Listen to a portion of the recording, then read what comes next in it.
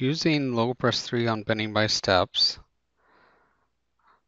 I will partially unbend this leg that has a rib running through it and two bent flanges on either side. K factors are already set using a German DIN 6935K standard. I will choose Move Center Partial Unbending. It will default to half the half the existing angles, so it's already set to 45. Click OK. And the leg is bent to 45 degrees and the radius moved from here out to here. LogoPress automatically assumes that we will then need to do a full unbending, so I just need to check the box and click OK, and then it's unbent the rest of the way.